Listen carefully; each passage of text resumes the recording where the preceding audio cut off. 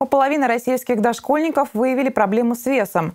Жир, соль, сахар – бич 21 века. По статистике, почти половина дошкольников в России, дети 3-7 лет, имеют проблемы с весом. При этом более 12% страдают уже выраженным ожирением. В Винницком округе только за январь текущего года с этой проблемой к медикам обратилось уже двое детей. Что с этим делать и как привить детям любовь к здоровой еде, пыталась выяснить моя коллега Елена Семеновичева. Так, Миша, доставай хлеб. Сейчас. Хлеб, сметану. Пищевые привычки у детей формируются с самого детства, в кругу семьи. Именно поэтому Ирина, несмотря на свою занятость, старается продумать рацион своих детей самым тщательным образом. В их доме не бывает полуфабрикатов, фастфуда и консервов. Под запретом жирное, жареное и острое. Ирина готовит исключительно из натуральных и полезных продуктов. В первую очередь, это, конечно, мы начинаем с завтрака. У меня принцип такой, что дети в школу без ложки каши э, не должны идти. То есть у нас на утро всегда это каша.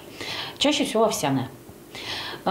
Следующий такой большой этап – это, конечно, обед. На обед у нас также есть принцип и обязательное условие – это суп.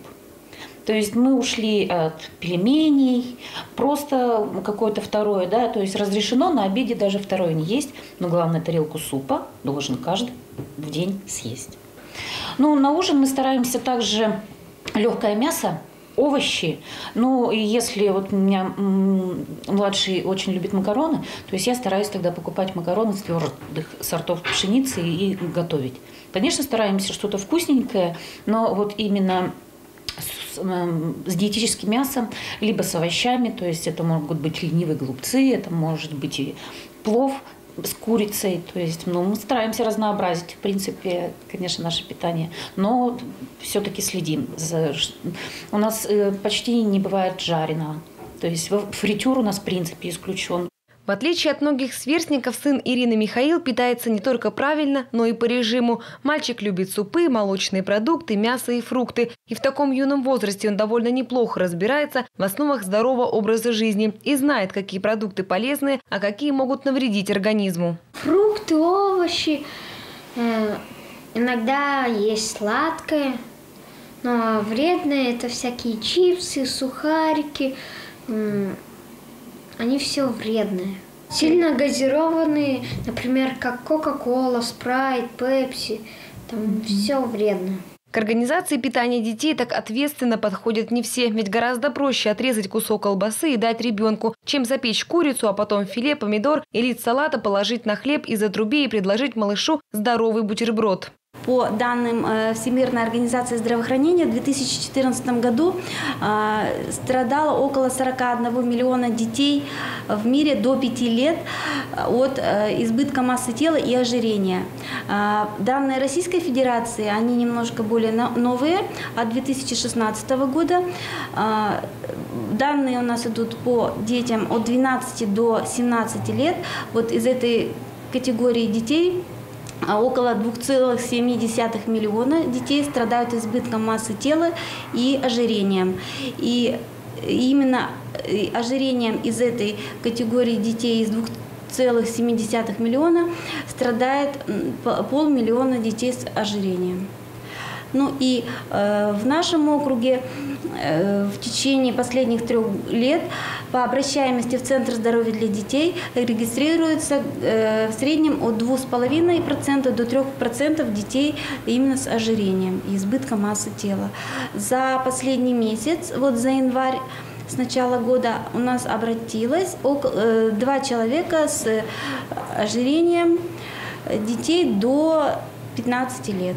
Чтобы развеять сомнения и понять, есть ли у вашего ребенка данная проблема, можно использовать нехитрую формулу. Число полных лет малыша нужно умножить на 2 и прибавить 8. Например, мальчик в 2 года при росте 88 сантиметров должен весить от 13 до 15 килограмм. Но важно понимать, что эти расчеты приблизительны. Поставить точный диагноз сможет только врач. Поэтому, если есть сомнения, обратитесь к специалисту. Ведь лишний вес чреват серьезными последствиями. Это неблагоприятное воздействие на желудочно-кишечный тракт, огромная нагрузка на поджелудочную железу, которой необходимо вырабатывать ферменты и гормоны для для усвоения огромного объема жирной пищи и продуктов, содержащих углеводы. Также у ребенка чаще всего развивается плоскостопие, вплоть до нарушения осанки и в крайних случаях сколиоза. Ребенок может испытывать регулярно головные боли, недомогание, усталость, а, плохое усвоение материалов в школе. Соответственно, это идет к, ведет к замкнутости в себе, да, опять же, негативный психологический фактор подключается и э, происходит, так сказать, замкнутый круг. То есть ребенок э, ищет удовлетворение и э, положительные эмоции именно вот э, в заедании своих стрессов и неудач. Определить процентное соотношение жира, воды, костной и мышечной ткани в детском организме помогут специалисты городского центра здоровья, которые работают на базе детской поликлиники. Здесь же определяют антропометрические данные и исследуют функцию дыхания. Если в процессе исследования будут выявлены какие-либо нарушения, ребенку и его родителям дают направление к специалистам детской поликлиники. При необходимости проводится дообследование и назначается комплекс лечения. Там определяют, за счет чего лишняя масса. Или же это нарушение водного обмена, или это нарушение жирового обмена, или это просто э, хоро, э, мышечная масса, то есть это э, хорошо подготовленный спортсмен с хорошими бицепсами.